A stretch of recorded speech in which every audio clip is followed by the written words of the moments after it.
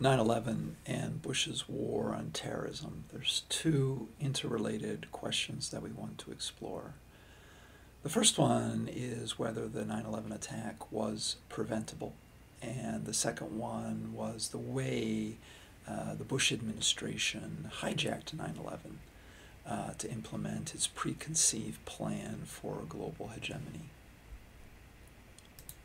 Now, there's no disputing the fact that there was this evil brilliance uh, behind the World Trade Center uh, attack. Uh, we need to understand this attack in terms of a string of increasingly aggressive and sophisticated attacks uh, by bin Laden and his Al Qaeda organization.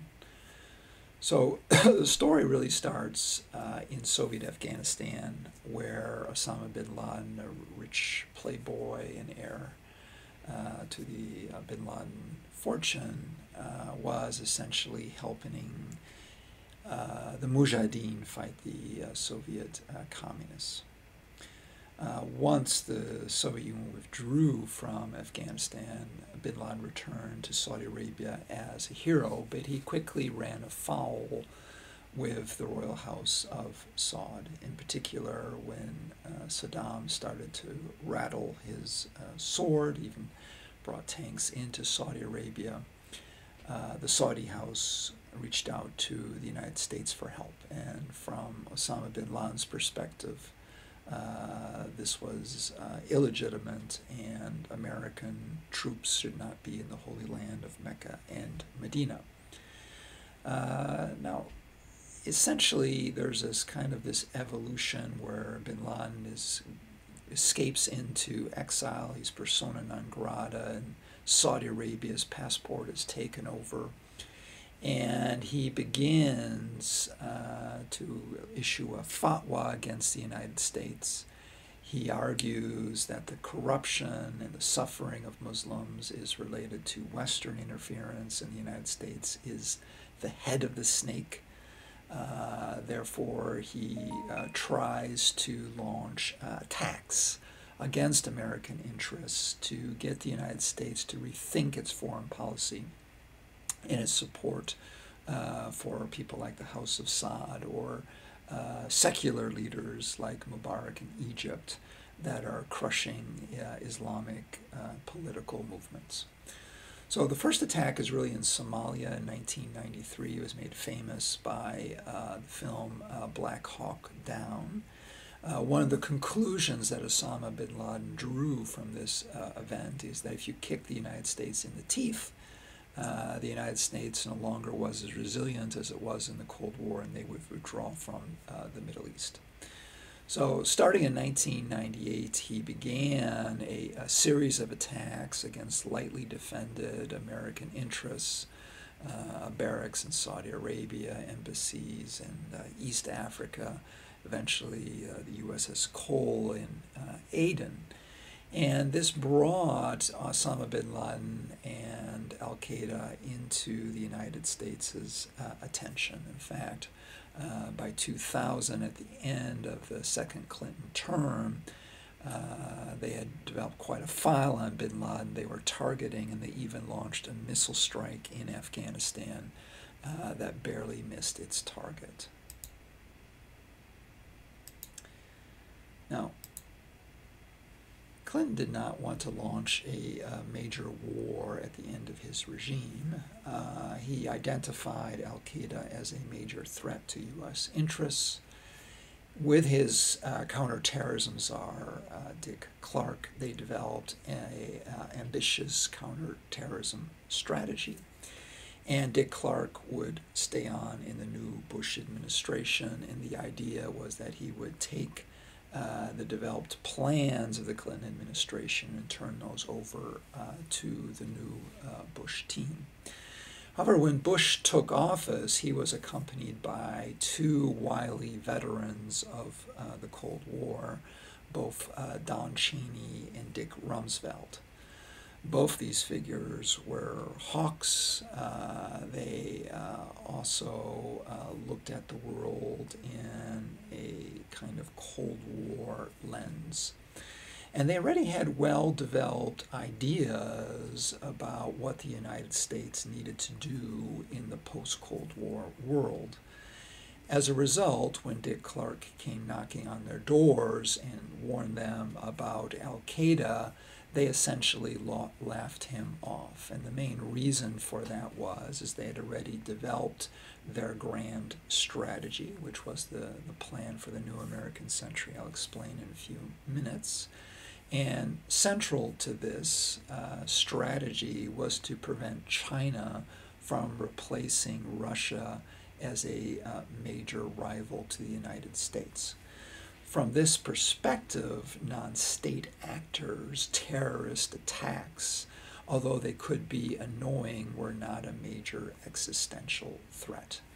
So, the result of this attitude from above in Washington, from the veteran uh, Bush team, is that a lot of intelligence and noise that was announcing the potential not only for an Islamist attack on U.S. soil, but the use of airplanes as a delivery vehicle was systematically ignored. And I think the weight of the evidence is, if you look at it carefully, is that if uh, standard police procedures were pursued, the Americans would have uh, come upon the evidence that potentially would have enabled them to thwart the 9 11 attack. Uh, now, there's many examples that I could point to. Uh, one is that the CIA had uh, uh, the, the 9 11, cons- two members of the 9 11 uh, conspiracy under surveillance and never informed the FBI uh, to keep them under surveillance in Los Angeles. Now, if they'd done that, they would have probably been led uh, to the conspiracy. Uh, the NSA, that had a very sophisticated surveillance operation, uh, as it turned out, they had intercepted intelligence uh, that would have led them to the 9 11 plot, but they suffered from a lack of translators, so the intelligence that would have informed them of that was still in process and had been transferred uh, tr- translated in time for them to thwart the attack. And you know there were there was a lot of chatter. Uh, there had been chatter already for many years about Islamists intending to hijack planes and send them uh, into to buildings. So when Bush said, you know, this attack just couldn't have been anticipated, uh, this is a direct uh, contradiction of the rumors that were circulating in these Islamist cells that the Americans uh, were monitoring. And perhaps the most damning evidence is uh, this man, um, Moussaoui, a French jihadist. Uh, his uh, trainer, he was in pilot school in the Twin Cities, called the FBI and said, you know, this guy's got a screw loose. I don't know what's wrong with him, but he, he really gives me bad vibes. He doesn't want to learn how to land the plane. He just wants to learn, you know, how to fly it. So the FBI got involved. They sent a case officer to look into Moussaoui. This rang a lot of uh, alarm bells, and the case officer went to his superiors and said, "You know, we got to look into this." But his superiors had other priorities. The agent was convinced enough that there was something wrong that he went over his boss's head and called, you know, the headquarters in, in Washington and said, "Look, we got to look and see if there's any other jihadis in American flight schools." And there was actually jihadis training in Florida, and you know see if there's any others involved that there might be a plot here. But he was ignored. Uh, he was reprimanded, and the result was, you know, two days before 9/11, Condoleezza Rice, the, the national security advisor for the Bush administration, uh, essentially eight months after Bush uh, took office, for the first time she meets with Dick Clarke, and you know she's kind of exposed in, in, in to, to, to Bin Laden and, and the nine uh, and the, the Al Qaeda uh, network. Uh, and I guess you know my perspective is the way the evidence shows that you know 9/11, if it may, maybe we can't say it should have been prevented, but it definitely could have been prevented. And definitely the evidence suggests uh, that at the very least. Now, there was certainly uh, an evil brilliance to the September uh, 11 plot. Uh, the, the, the, plot would, really didn't require a lot of organization or, or money, probably less than $200,000. Uh, it, it was a plot that was run by Al Qaeda, which essentially in Arabic means the foundation. And what it essentially was was the alumni network of uh, Arab Afghans. In other words, uh, Arab fighters that had fought the Soviet Union in Afghanistan. They were mujahideen, they were holy warriors. And after the Soviet Union left, they, they kind of kept into contact. So when Osama bin Laden went back to Afghanistan, he reestablished this uh, alumni network. He called it Al Qaeda or the base. And uh, KSM Sheikh Mohammed, a Pakistani uh, was essentially the brainchild of the plot. Uh, bin Laden was essentially uh, the money man that provided the financing for it. The basic scheme was to uh, smuggle in uh, 20 uh, Arab suicide bombers. Most of them were Saudis because one of the kind of side objectives of the plot was to drive a wedge between the Saudis and uh, the Americans, particularly the House of Saud and the House of Bush were very close uh, together. Uh, this was actually very easy to do. There was you know, a lot of rumors that they had to come in through Canada, but actually that was not even necessary. It was very easy for an open society like the United States with lots of universities for uh, these individuals to come into the United States without any major uh, security uh, checks. Now, uh, the basic idea was you could create a devastating uh, missile attack by hijacking a plane. Now, there was a whole protocol for dealing with hijacked planes. Usually they were held for ransom. That's what the PLO had traditionally done. Uh, but in Al Qaeda's case, the, the, kind of the novel invention is that they would be suicide bombers. They would use the aircraft's uh, controls to transform it into a missile. They were going to hijack transcontinental planes that would be laden with fuel early in their flight. So the fuel itself would be the explosives or the payload that they would deliver on four strategic targets that were intentionally uh, you know, selected to send a message. Now, given the, the level of security, it was actually very easy to overpower these planes. It only took uh, essentially uh, five agents, five uh, hijackers, fitted with box cutters, some basic martial arts training. They easily overpowered the crew. Uh, there was no real security door between the plane and the cockpit. So it was an easy measure of taking over the plane, especially as the security protocol at the time uh, preached collaborating uh, with uh, the hijackers because there had been no attempt to hijack and use it as a, as a, as a guided missile. Now there was a you know a security network, and when you can see here's a picture in Logan Airport of Mohammed Atta, the the operational commander of the 9/11 attack going through uh, security. He didn't ring any alarm bells. He was an MA student from Egypt. Uh, but there were two Saudis that really triggered the alarm bells of uh, the security personnel. And uh, they, they, they looked on the database, but the database was very incomplete. There was actually files on these guys, but the various branches of security service weren't talking to each other. So they knew there was something wrong with them, but they had no means or power to stop them. So they allowed the hijackers to board the plane, and of course they hijacked it and sent it into uh, the World Trade Center, uh, as we know. So in general, this was an ingenious attack, but it was an attack that was made possible by very lax security measures, and certainly one of the good outcomes of 9/11 is that airport security has become you know a lot more uh, uh high, and this has prevented uh, successor uh, attacks ever from happening uh, again. I remember being in uh, New York when the uh, first tower was hit. Uh, I was actually teaching class, and uh, someone came in and said, "You have to turn on the television." There was actually televisions in the classroom. We turned them on. We could see the you know, the World Trade Center, the first tower burning, and then you know quite soon another another plane crashed into the other towers you know, pretty clear that there was something going on. This was something nefarious. It was not just a, you know, an accident. Uh, the protocol for uh, this type of accident, a plane collision with a building, is to contain the fire. So in New York, Manhattan, uh, first responders, which is you know the police, firemen, uh, you know, paramedics, uh, they would rush to the site, try to contain the fire, and help the people uh, that were wounded. Uh, but the World Trade Center uh, building was relatively uh, unique. And it was kind of built as a shell with this kind of steel grid.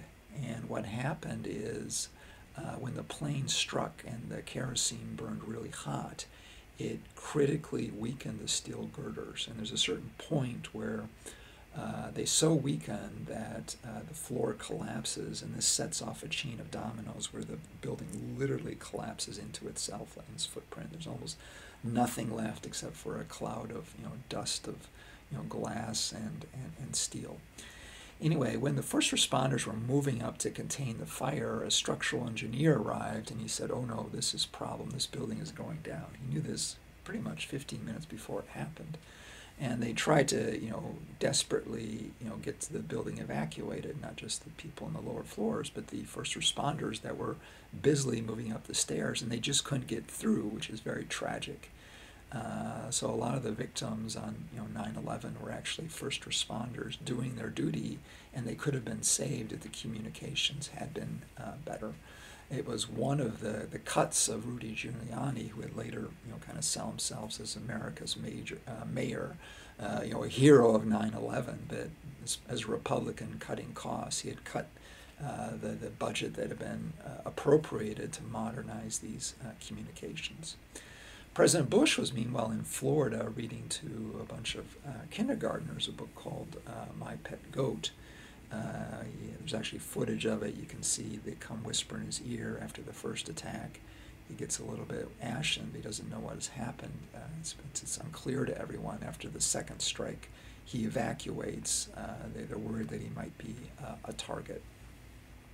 So when the first uh, tower uh, collapses, you know most Americans were now tuned into television, and we saw it, you know, fall down and collapse and uh, you know, less than an hour later, the second tower uh, collapsed for the same reasons. Uh, again, that this uh, you know, burning, very hot fire uh, broke the, structural core of the building, triggering its collapse, which is not something that actually Osama bin Laden had anticipated. It was really a, a lucky strike, and it was something that was particular to this particular building.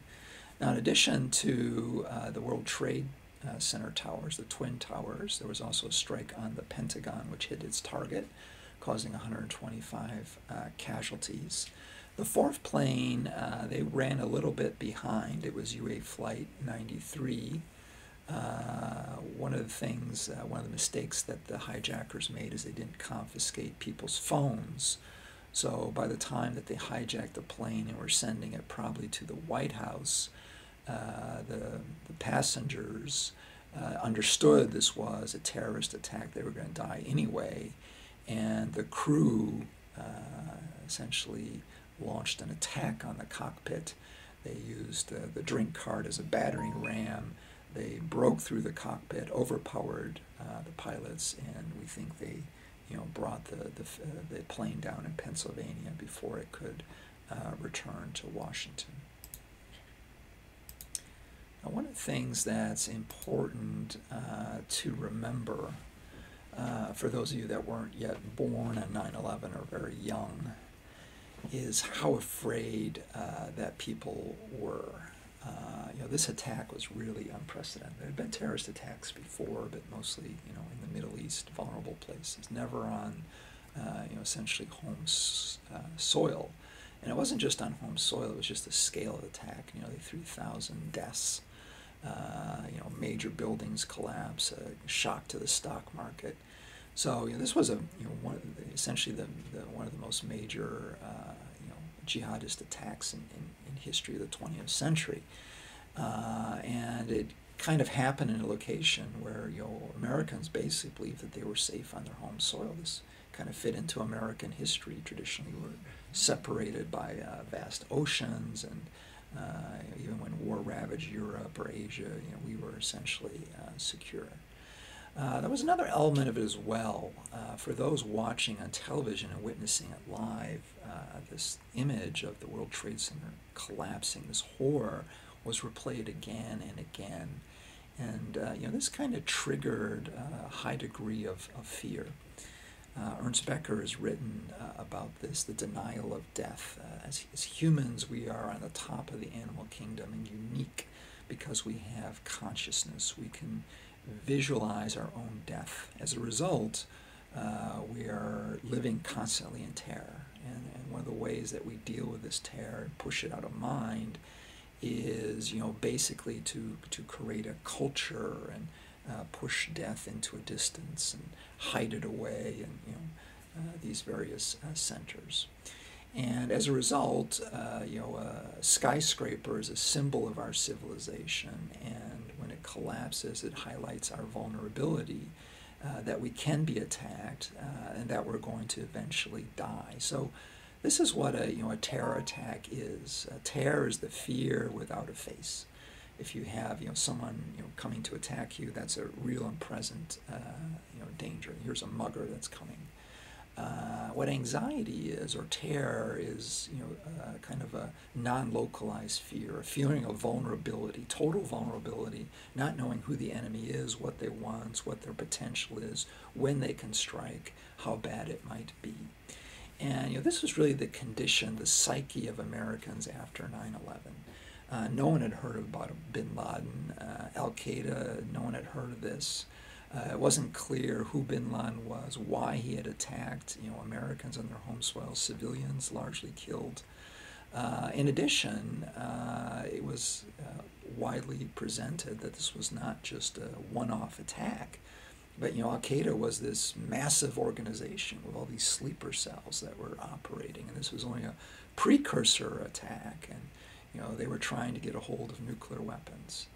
Uh, quite soon there was a, another attack, an anthrax scare. Anthrax is a, you know, a deadly uh, toxin. It's a kind of a, a fungus uh, manufactured by a, by a lab. And uh, several uh, anthrax envelopes were sent to American politicians.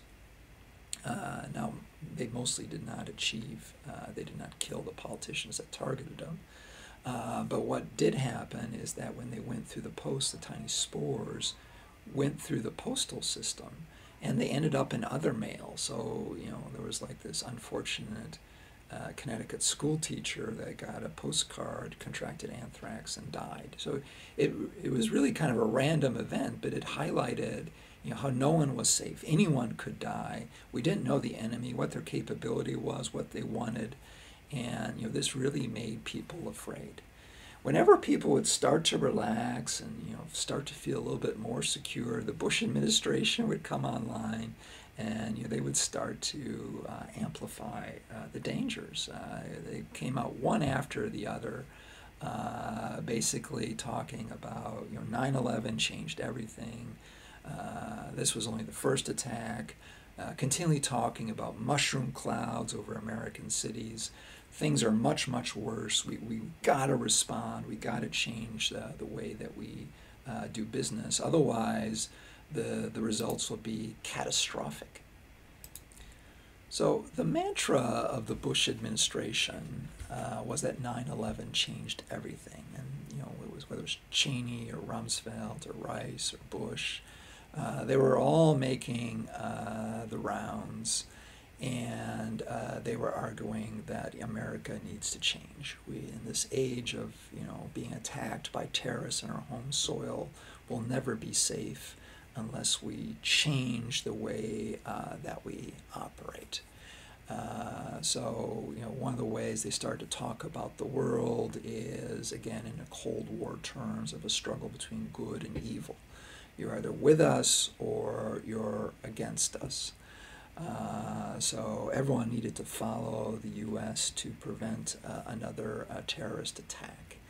And the enemy was uh, novel. It was not an, an, enemy state. These were non-state actors. Al Qaeda was just a very loose network. Uh, so you know there was really no way to interdict that.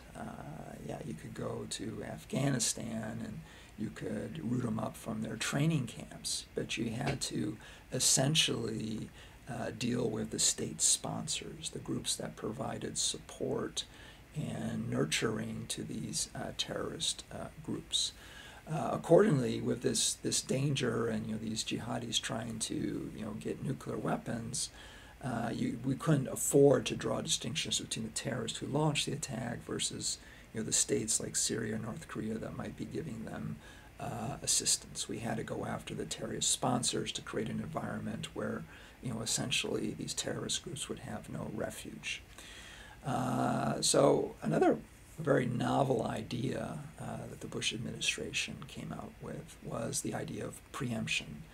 Uh, now, it's, it seemed reasonable if you were very afraid about a terrorist attack or these, if you believe that these jihadis were trying to get a hold of nuclear weapons and to unleash them over American soil, the idea was you had to preempt uh, the, the, the, jihadis from getting these nuclear weapons. So what you needed to do is if you knew there was a, you know, a, a state like uh, North Korea or Iraq that was interested in acquiring uh, weapons of mass destruction, you would have to overthrow this regime because they might eventually give this uh, weapon of mass destruction to uh, Al Qaeda or the terrorists. So this was called preemption, but this was you know really a slippery slope because you didn't need to have you know any evidence of collusion between you know Saddam Hussein and Al Qaeda.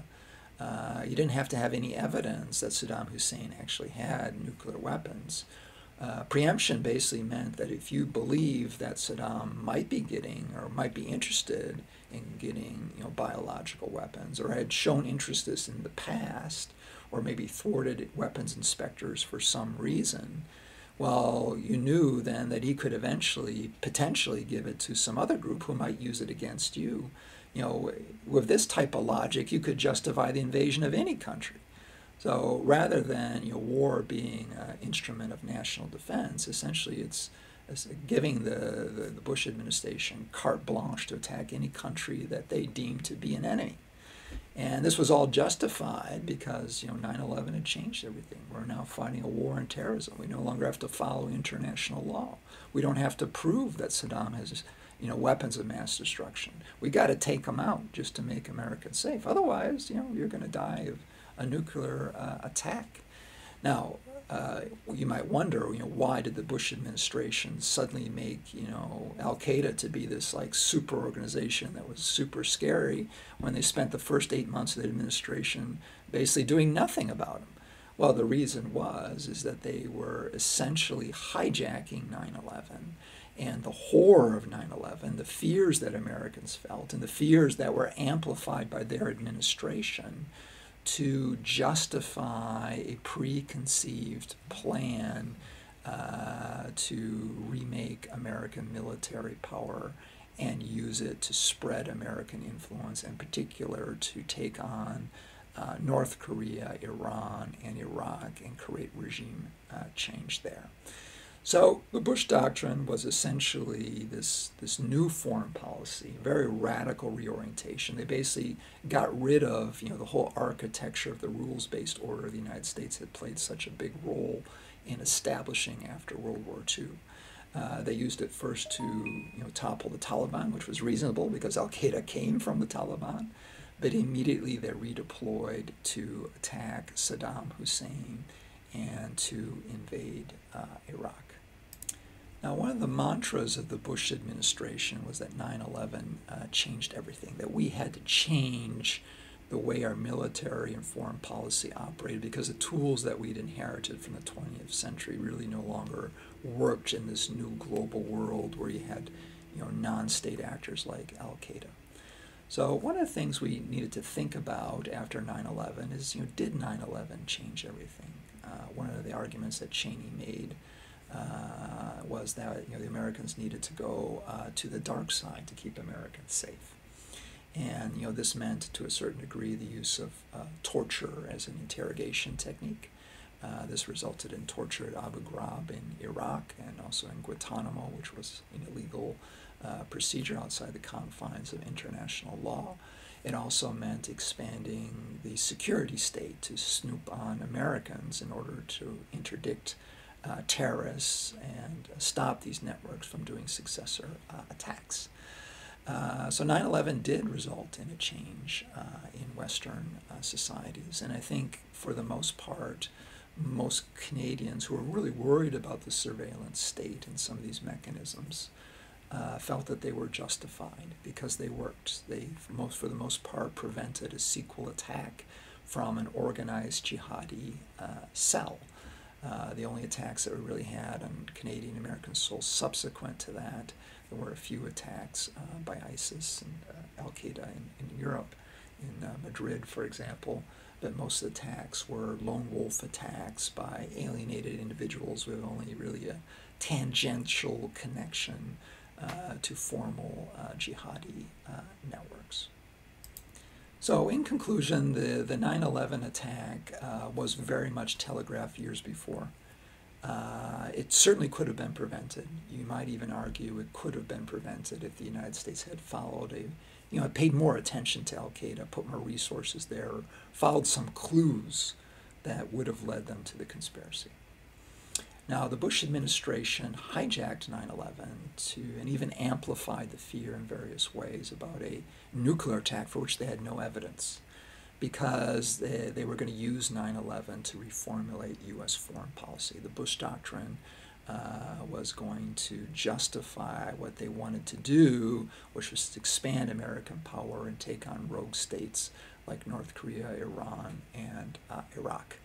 So the Bush administration really lied about weapons of mass destruction, and they uh, spin all these narratives to convince the Americans that not only did we need to go into Afghanistan, but now we had to somehow uh, remove Saddam Hussein in Iraq when there was absolutely no connection between the two, nor even any uh, real evidence between the two. And this was all part of a preconceived plan that I'm going to explain in the next video.